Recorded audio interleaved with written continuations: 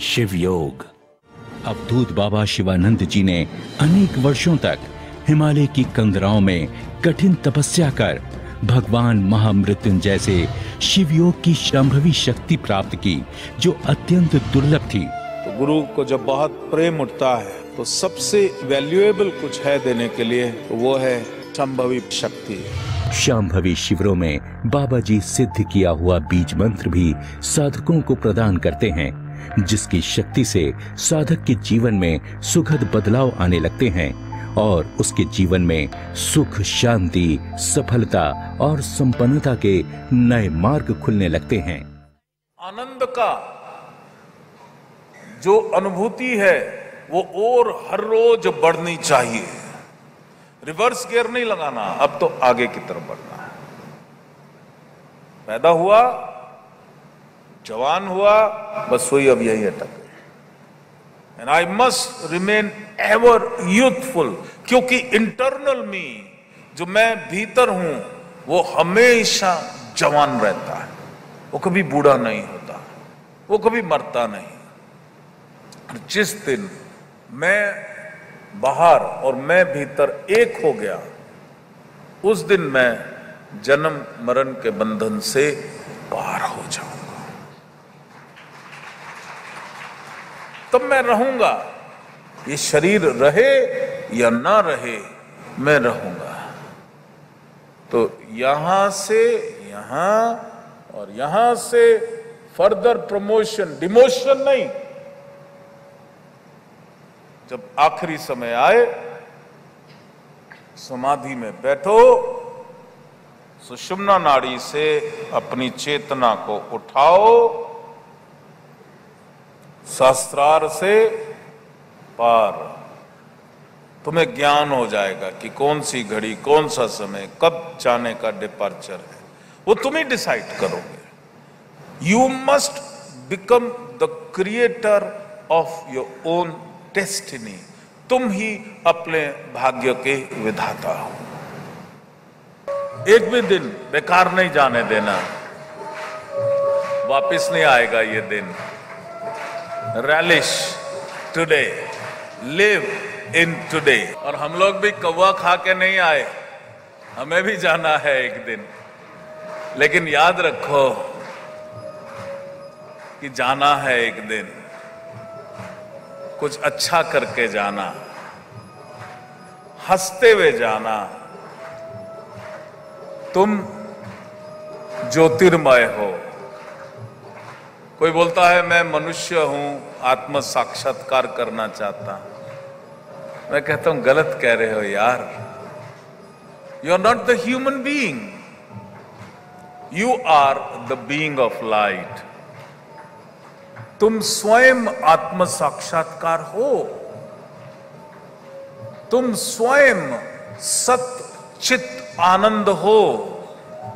तुम स्वयं ज्योतिर्मय हो, ये मनुष्य शरीर तुमने इसलिए धारण किया कि शरीर के माध्यम से तुम स्वयं को, जो तुम अनंत हो, उसको अनुभव कर सको।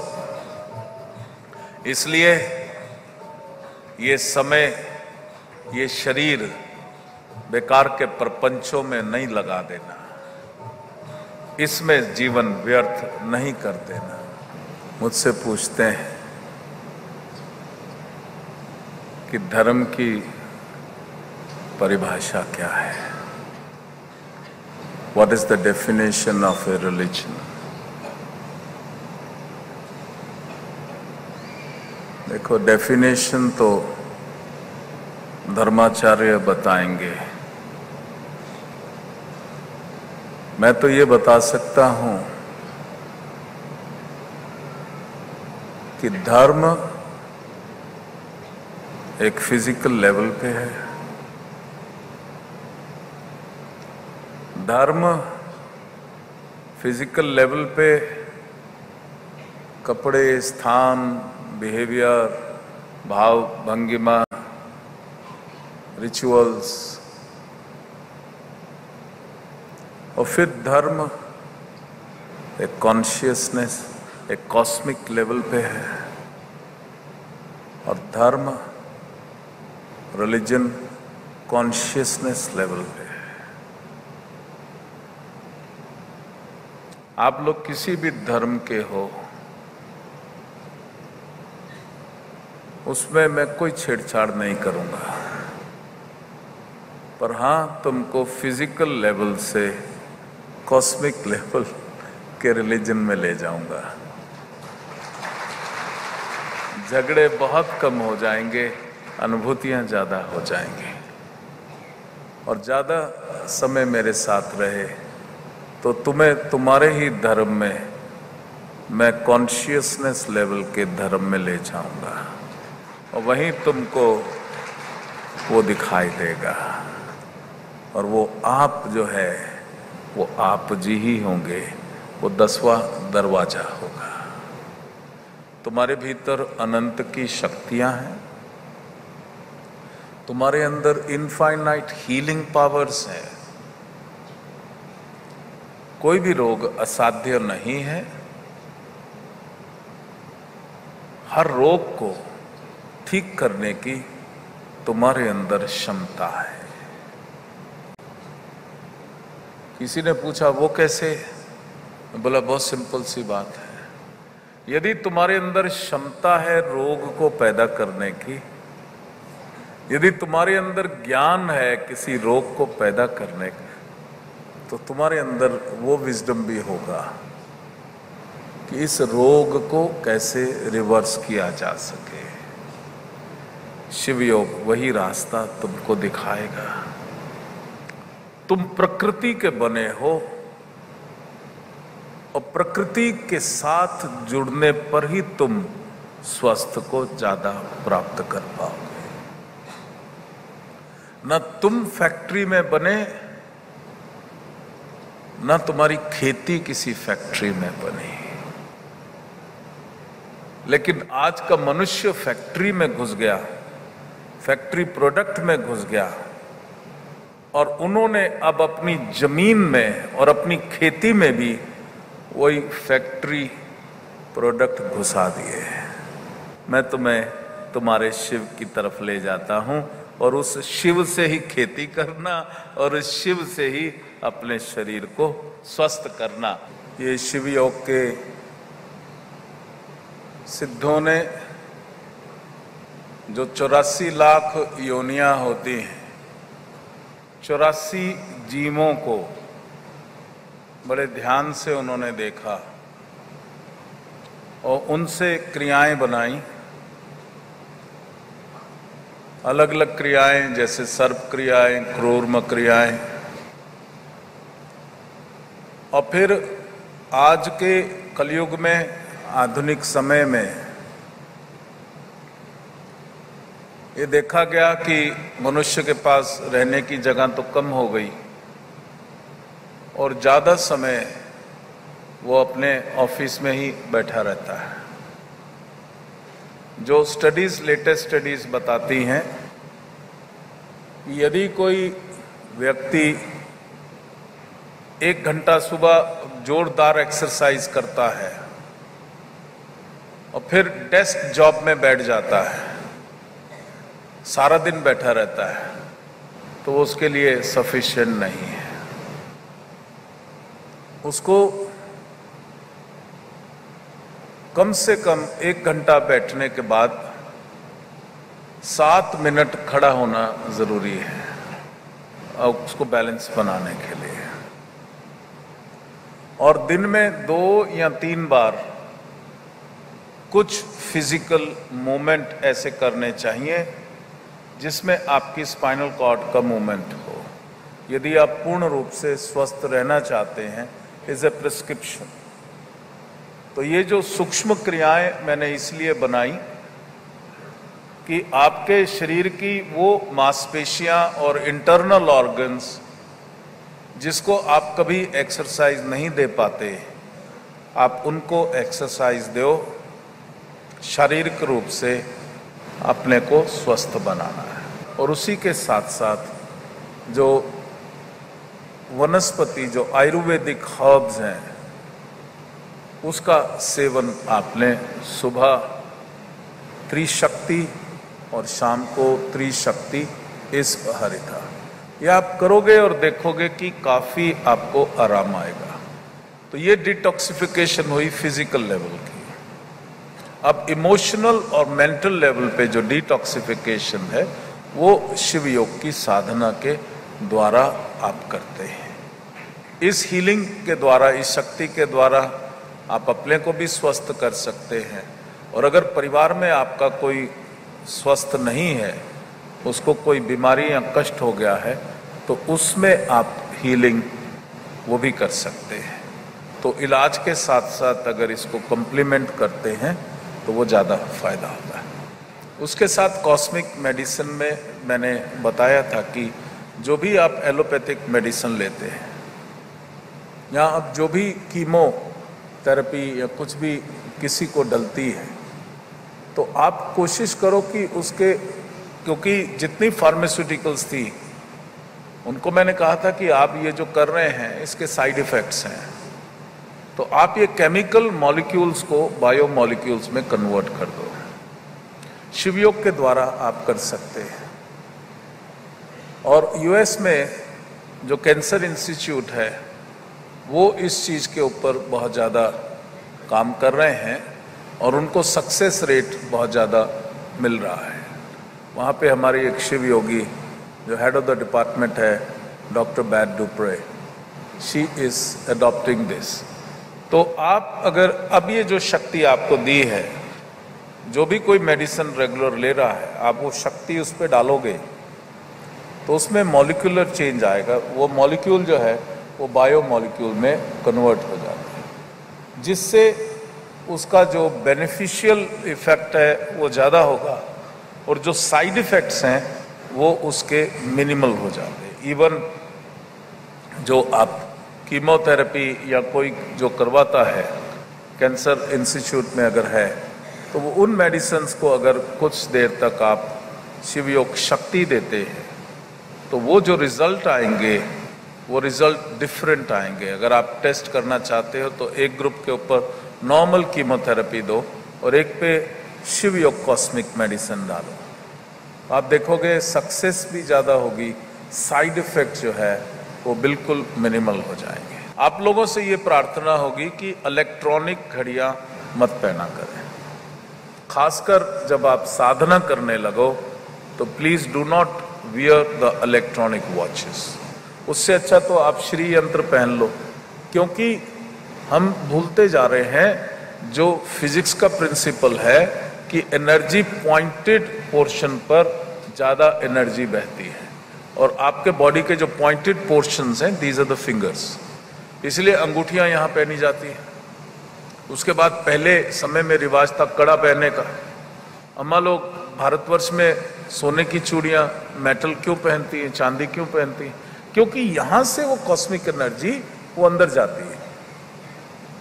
तो आप जो है, वो श्री यंत्र का जो बनावट है, वो कॉस्मिक एनर्जी को एट्रैक्ट करता है। आप उसको ले लो। तो महँगा महँगा ना करके मैंने साधारण उसका किया है। आपको महँगे की ज़रूरत है, उसको गोल्ड पॉलिश करा लो। आपका ऑर्नामेंट भी बन गया। और प्लस वो जो है धातु, एक स्टडी हमने और करी थी कि जब सेवन एलिमेंट्स को सेवन मेटल्स को हमने एक के साथ, एक के साथ एक किया तो वहाँ से जो एनर्जी पास हुई, वो इलेक्ट्रिसिटी में कन्वर्ट हो गई थी। मैंने कहा ना कि शिव योगियों के पास सारी टेक्नोलॉजी है। इलेक्ट्रिसिटी प्रोड्यूस करने की भी है, लेकिन वो झंझट पड़ जाएँगे। जितना चाहिए, अभी ज़रूरत है पूर्ण स्वास्थ्य की, ज़रूरत है खेती की, जिससे किसान जो है वो संपन्न हो। किसान के प्रति श्रद्धा इसलिए है क्योंकि एक आम आदमी को जीवन में डॉक्टर की ज़रूरत शायद साल में एक बार पड़ती है। नाई की ज़रूरत छह महीने में बाल काटने वाले की भगवान न करे, वकील की ज़रूरत पड़े तो जीवन में एक या दो बार पड़ती है। लेकिन किसान की ज़रूरत आपको दिन में तीन बार पड़ती है, नाश्ता के टाइम, लंच टाइम और डिनर टाइम।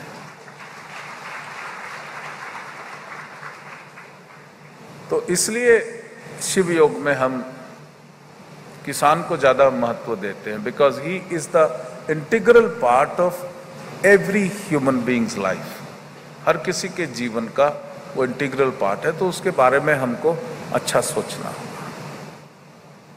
तो ये नो इलेक्ट्रॉनिक्स और जो सेल फ़ोन है, उसको स्लीपिंग मोड में नहीं करना एरोप्लेन मोड में कर देना।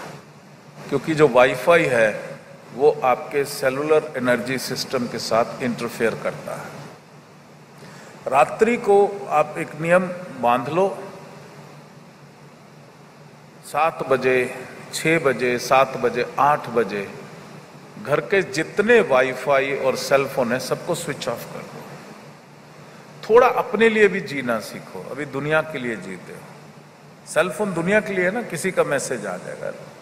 Learn to live for your own self also और सुबह निर्धारित कर लो कि आठ बजे या नौ बजे मैं स्विच ऑन करूँगा। उससे पहले, और पहले सेलफोन जब नहीं था तब भी तो आप थे।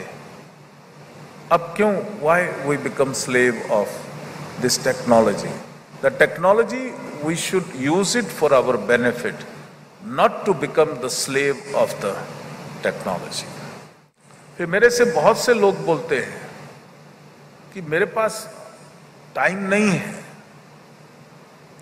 मेरे पास शिव योग में आने का टाइम नहीं है। मैं आप क्या करते हो? कि हम मेरा बिज़नेस बहुत भारी बिज़नेस है। तो मेरा उत्तर होता है your body is your first business ये शरीर है तो बिज़नेस कर पाओगे। और ये शरीर ही नहीं है तो क्या कर पाओगे? मेरी कल को बहुत ज़बरदस्त अपॉइंटमेंट है। मैंने कहा, अगर ये शरीर है तो अपॉइंटमेंट भी भुगताओगे और अगर इस शरीर को कहीं और जाना पड़ गया तो कोई अपॉइंटमेंट भी नहीं होगी। तो learn to settle your priorities. Your body is not doctor's business. जो अभी तक सोचते आए हो कि ये मेरा शरीर डॉक्टर का बिज़नेस है। No. Your body is your business और ये शरीर है तो तुमने जितनी कमाई करी, उसको भोग सकते हो। अगर शरीर बढ़िया है तो बढ़िया गाड़ी खरीदी, उसका कंफर्ट ले सकते हो। और अगर ये शरीर दुख रहा है तो हवाई जहाज़ में भी बिठा दो, तुम्हारे को डिस्कंफर्ट होगा।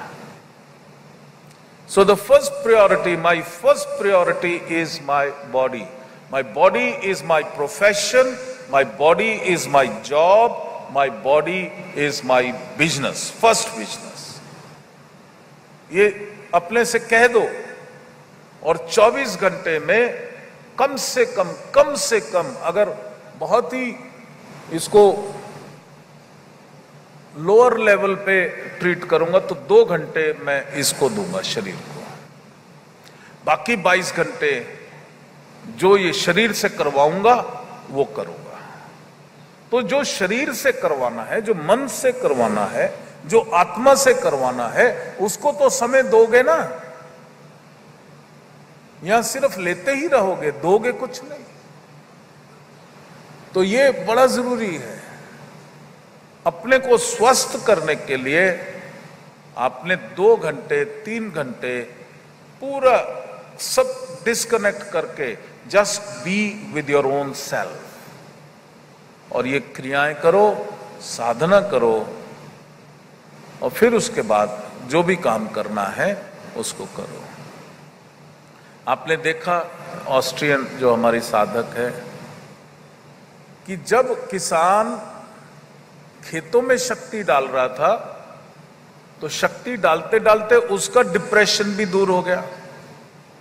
उसकी बीमारियाँ भी दूर हो गई। इसलिए जितने भी किसान आते हैं, शिव योग को जो अपना रहे हैं, वो कहते कि हम रोग मुक्त होते जा रहे हैं। अब मेडिकल बिल नहीं आ रहा, क्योंकि वो जो कॉस्मिक एनर्जी है, वो पहले शरीर में प्रवाहित होती है। वो जीवन देने वाली जीवन दायनी शक्ति जब शरीर में प्रवाहित होती है तो जीवन नष्ट करने वाले जो एनर्जी है, वो उसको खत्म कर देगी तो धरती को, खेती को आप जो शक्ति दोगे, पहले वो शक्ति तुम्हारे अंदर रूपांतरण करेगी। तुम्हारे अंदर अगर कोई रोग आ चुका है धीरे धीरे खत्म होगा। अगर वो आने वाला है तो आने से पहले वो खत्म हो जाएगा। उसके बाद वहाँ घर के अंदर अपने परिवार के सभी सदस्यों को देख करके शक्ति पूरे घर पे डालना। और घर के लोगों पे डालना।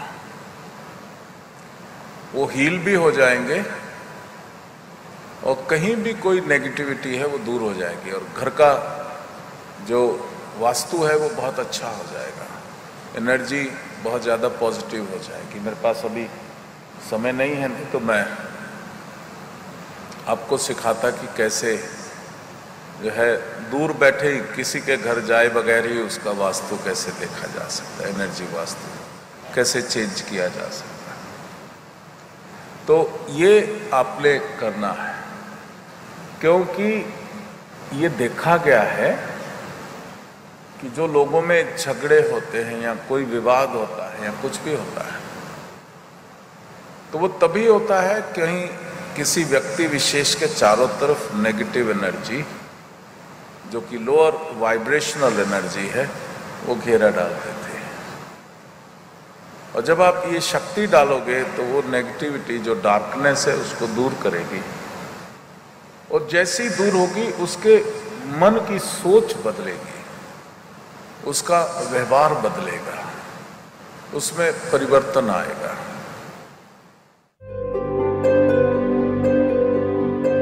पहले फ़सल अच्छी नहीं आती थी। सब खाद यूरिया सब डाले, बस फ़सल अच्छी रहे, हर चीज़ पर गाँव है तो वो बिल्कुल कम का कम रहा। है उसमें निकलता ही नहीं था, दस कुंटल से ज़्यादा निकलता ही नहीं था। लेकिन अब तो इस बार से बहुत ज़्यादा निकला, उसमें थोड़ा थोड़ा बीज डालो, इस बार से छब्बीस कुंटल तो गेहूँ निकला है। पहले स्प्रे करते थे, लेकिन अब नहीं करते। बहुत चेंज है। अब जी तो पानी नहीं था तो पानी के बगैर भी फ़सल आ गई है। नहीं तो पूरी सूख जाती। एक नोजल चलता था, मात्र आसपास की भी ज़मीन तो नहीं भींजती थी।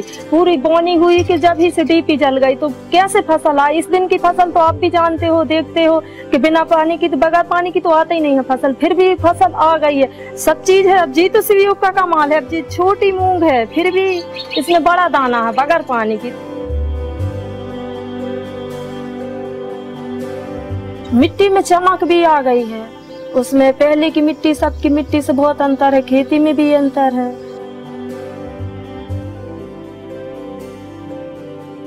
हमारे लाइफ में जी चेंज है कि अब फ़सल हमारी हरी भरी परिवार खुशहाल है। सब चीज़, कोई चीज़ का टेंशन नहीं है, हर चीज़ में सफलता प्राप्त है का कहा शिवयोग की द्वारा हर चीज़ हो रहा है। बाबा जी की शिवयोग शक्ति से धरती की उपज बढ़ेगी और जैसे जैसे उपज बढ़ेगी, हर बरस खेती का उत्पाद भी बढ़ेगा। वो भी फ़सल की झड़त ज़्यादा होगी और खर्चा कम होगा। आज लोग बोलते हैं कि खेती गरीबों के लिए नहीं रह गई। शिव योग कहता है, खेती गरीब किसान के लिए उसको अमीर बनाने के लिए रह गई।